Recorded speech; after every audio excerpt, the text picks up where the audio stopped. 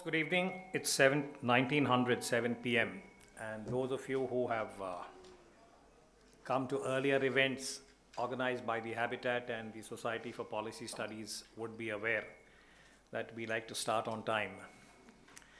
And if I may say in lighter vein, we've had a couple of occasions where the speaker for the evening was stuck in Delhi's traffic. And yet we began. but not today. And that's just background for you. But at the outset, I want to welcome all of you. And some of you, of course, are familiar faces. There are some new members who have joined us for this particular series. I'm delighted to welcome all of you.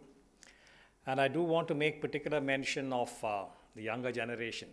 Both the Habitat and our society, the Society for Policy Studies, has been engaged in an outreach program to try and get the younger demography of Delhi to attend our events and such lectures. For this evening, I am very glad to introduce in our midst Mr. Jeffrey Gettleman. Some of you may know of him, you may have read his work. He is currently the bureau chief of the New York Times. And he has come to India after extensive experience in Africa. I've not met him, I've just read him. But his claim to fame this evening is that he is the author of a book, which is there and it's also outside, which in a way distilled his five, six years, Mr. Gettleman, in Africa. 11 years, there you are, in Africa, particularly in East Africa, Kenya, up and down.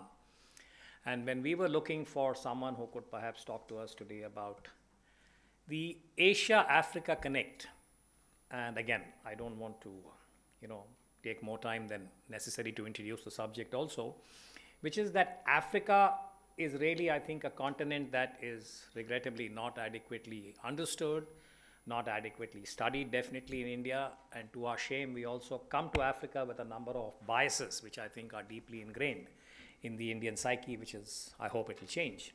We thought that Mr. Gettleman, with his own experience and empathy for Africa, would be able to walk us through. And the suggestion that he had given, of course, is there that Africa and India, what does the future hold for the Afro-Asian uh, linkages or connection? So as is the norm, Mr. Gettleman will speak for about half an hour. Is that okay, sir?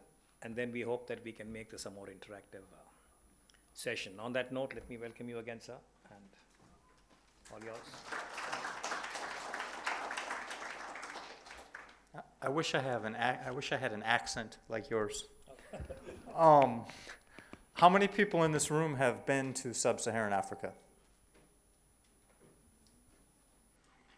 How many people in this room have been to India? Just seeing if you're paying attention. um, okay, so I stand in front of you wearing sort of two hats. I'm a journalist. I work here for the New York Times. I've been very busy in the last few weeks, a few months. This year has been very heavy uh, with news out of India everything from Kashmir to the election to the moon mission. um, I've covered that.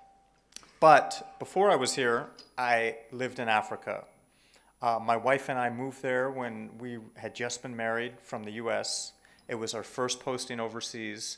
And for me, it was a dream come true because I had traveled to Africa as a young man right out of high school and was and fell in love with it instantly. And Africa, for those of you who have had the good fortune of, of getting on the ground and feeling it and seeing it, has this transformative power on people. And it's become something of a cliche. Um, the white guy falling for Africa. There's even a French term, le mal d'Afrique, which means the Africa disease, because it's a, a, a disease like falling in love that makes you dizzy and lose your senses and chase something that's, that's impossible to catch and I and I felt that. I, as a journalist, I was pushed to to go beyond this. This, this just pure sort of affection and, and endearment of Africa and to look at it critically. And for those of you who are in this room who are aspiring journalists or communication uh, majors or people thinking of going into broadcast or communication or media, um, you know this is part of our job. We can't, we have to, we, we, our job is to cast a discerning eye, not necessarily negative, but but but critical in the sense of critique, not not critical as mean spirited. And you're really trying to pick apart the different issues that you're covering um, and to communicate them. Like that's the number one thing that any journalist, a good journalist, excels at is communication, is reaching people and using the right words and, and tapping into your own feelings. Uh, I'm really glad you used the word empathy because that's like the number one tool that a, that a journalist has, that, that we as people have. But to get somebody to open up to you and tell you their life story and to share their feelings at dramatic times, you have to connect with them.